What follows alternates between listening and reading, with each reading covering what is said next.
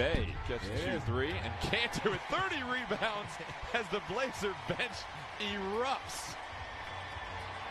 Pure jubilation over on Portland's sideline.